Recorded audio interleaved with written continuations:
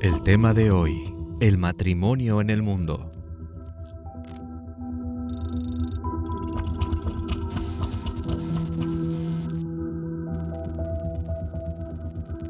Según estudios de la OMS, asegura que las personas después de compartir argollas de matrimonio en su casamiento reducen el riesgo de sufrir trastornos depresivos o crisis de ansiedad, ya que sienten que al casarse tendrán compañía para toda la vida. Sienten seguridad en momentos difíciles y el sentir apoyo de alguien querido los ayuda a salir de sus cuadros de trance. Bienvenidos a Inexplicable. Durante miles de años, una poderosa razón para casarse fue la de crear una familia y con ello mejorar las condiciones de vida. ¿Esto es real? Vamos a escuchar esta definición del matrimonio. Veo dos fenómenos que hay ahorita allá afuera en la gente en cuestión de relaciones de pareja. O mucho divorcio o mucho soltero frustrado con que se le está yendo el tiempo y no se está casando.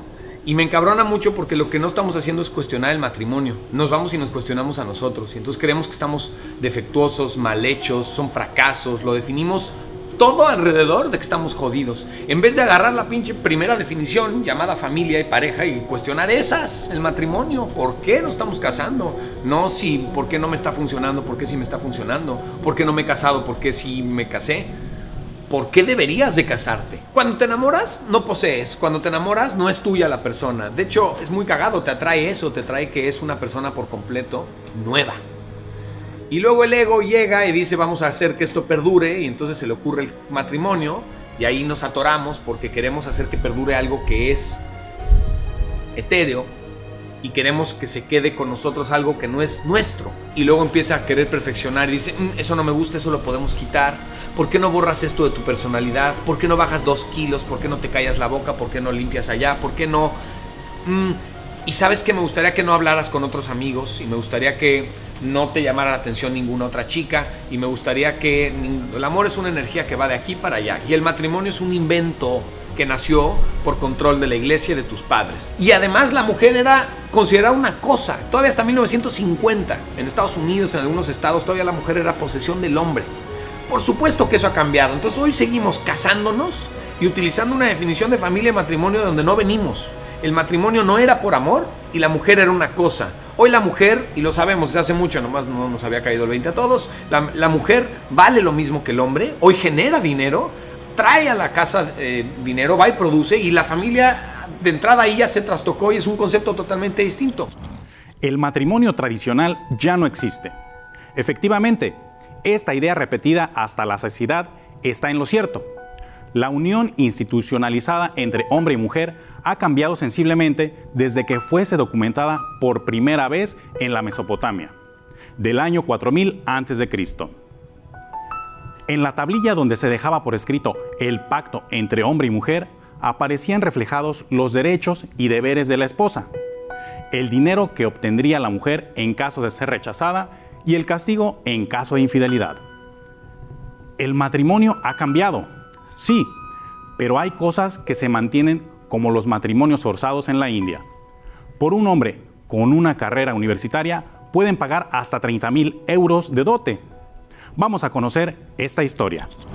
Es una práctica castigada por la ley, pero que aún así no cesa de aumentar en India. En el 2016, 34.000 habrían sido secuestradas para ser casadas a la fuerza.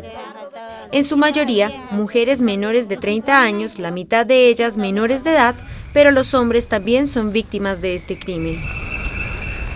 En el estado rural de Bihar, al norte del subcontinente, Vinod Kumar se volvió el símbolo de los Pakatwa Viva, literalmente el rapto de un hombre para unirlo por la fuerza con una desconocida.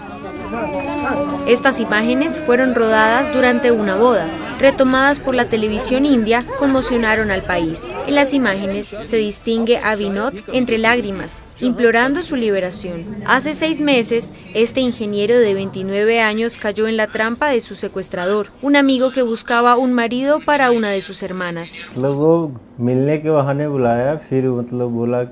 Esta persona me puso una cita en la estación. Cuando llegué, él y otros miembros de su familia me llevaron a su casa por la fuerza. Me golpearon, me amenazaron con una pistola y me apuntaron en la nuca. Y me dijeron, si no aceptas esta boda, te matamos. Luego de un mes de secuestro, su familia logró su liberación. Ahora él busca anular este matrimonio ilegítimo. Pusieron el video en internet para que se volviera viral, para decirle a la gente que a partir de ahora yo tenía una mujer y que no podría volverme a casar. Quiero que esta historia se acabe, recuperar mi vida, tener la mente libre. Quiero que los culpables sean arrestados lo más pronto posible. Los culpables siguen en fuga. Vinod y sus allegados reciben amenazas de muerte y acusan a la policía de no haber intervenido a tiempo. Pinot era el blanco perfecto debido a su profesión. Ingenieros, funcionarios o incluso médicos son los perfiles buscados por los secuestradores, ya que aquí en este estado que es el más pobre de India, la dote, suma pagada por la familia de la esposa a la del yerno, alcanza montos considerables, por un ingeniero como Vinod hasta 30 mil euros y el doble por un médico y esto sucede a pesar de la prohibición por ley de esta práctica desde hace medio siglo.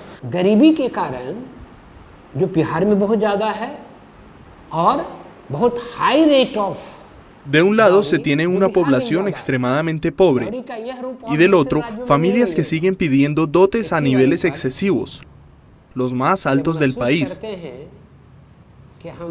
Así que los padres que quieren encontrar a toda costa un buen partido para su hija sin pedirle su opinión, van a recurrir a la violencia y organizar un secuestro para no pagar la dote. Es difícil cuantificar la magnitud de este fenómeno propio de Viar.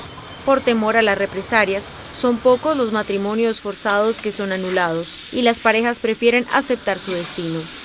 Es el caso de Matma y Vinod. Hace 18 años ellos no se conocían. En este álbum familiar no hay ninguna foto de su boda, que fue organizada secretamente durante otra celebración religiosa. Las personas que me rodeaban comenzaron a forzarme a beber alcohol. Luego me obligaron a seguirlos en un lugar donde había mucha gente. Estaba completamente decorado como para una boda. Y al final admitieron que iban a casarme. Si hubiera puesto resistencia me habrían golpeado. Estaba rodeado por los miembros de su familia. Poco a poco aceptamos nuestra unión. Tuvimos un hijo. Preferimos no acordarnos mucho de ese día. A pesar de las adversidades, solo queremos guardar los buenos recuerdos. Vinod y Matma ahora tienen dos hijos para quienes desean otro futuro. No quiero que mis hijos corran la misma suerte. Quiero que tengan una boda feliz. Lo que nos pasó es un error. Un matrimonio no debe ocurrir así. Pero en los pueblos la gente tiene creencias de otras épocas prácticas que una parte de la clase política de India desea desaparecer. El jefe del estado de Bihar lanzó a principios de año una campaña de sensibilización contra la dote, un comienzo para hacer mover la manera de pensar. La Organización Internacional del Trabajo ha tipificado al matrimonio forzado como una forma de esclavitud moderna. En su último informe indica que el 55% de los matrimonios forzados en el mundo ocurren en la región de Asia y el Pacífico. Vamos a una pausa comercial y al regresar descubriremos cómo la homosexualidad estaba permitida en Esparta, aunque el matrimonio era una obligación. Ya volvemos a Inexplicable.